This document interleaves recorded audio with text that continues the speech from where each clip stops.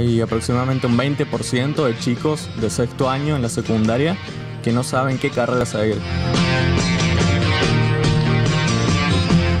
que el 85% de los chicos eh, se considera mal informados sobre la carrera que, eh, que piensa seguir estudiando. Cuando sea grande, seré abogado, ingeniero, diseñador o filósofo. ¿Qué estudiar? El dilema de todos o gran parte de los estudiantes que terminan el secundario. Ellos, un grupo de jóvenes que pasaron por la misma situación indecisa, desarrollan un proyecto digital para ayudar a los futuros estudiantes a decidir en base a experiencias profesionales.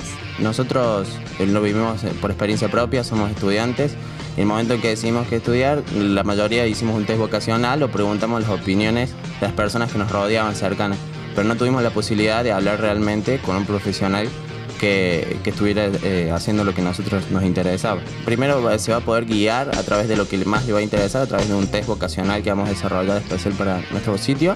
Después va a poder ver experiencias eh, verdaderas de profesionales eh, a través de videos o textos, tipo blogs. Y finalmente van a ver la oferta académica que hay en la ciudad que ellos elijan donde quieren estudiar. Hola, mi nombre es Diego Sarmiento, tengo 31 años, Trabajo en una empresa que se llama ThyssenKrupp Research Technologies en Alemania.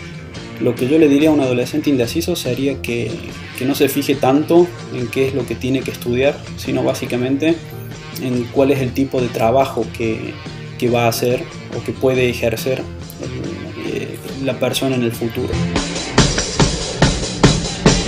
La idea es poder lanzar antes del próximo año, o sea, antes de que empiece el dictado de nuevas carreras universitarias. Eh, también me gustaría invitar a profesionales, también además de los chicos, por supuesto, a profesionales que quieran aportar sus testimonios, sus experiencias a través de diferentes formatos que nosotros les ofrecemos y empezar a colaborar porque esto es un proceso de orientación vocacional colaborativo.